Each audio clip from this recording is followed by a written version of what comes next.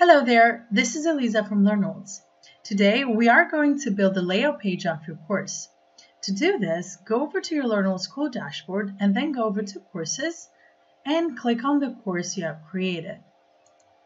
Once you're there, go over to the Layout tab.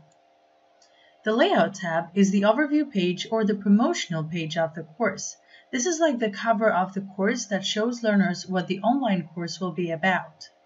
On this page, you can add key information about the course, like what the course will offer, which learning activities it will include, the course price, and much more.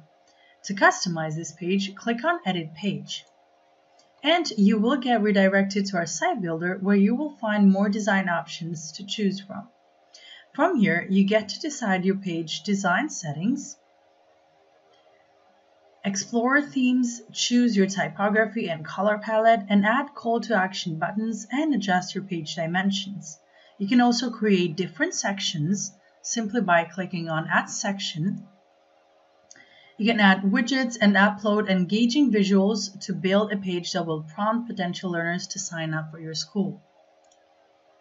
For a more detailed tour on our site builder, check out this video. Now, once you're happy with the layout, click on Preview to see how it looks to website visitors and then click on Save. And that's it! You have successfully created a layout page for your course. Want to learn how to structure your course content inside LearnWorlds? Watch out for our next video.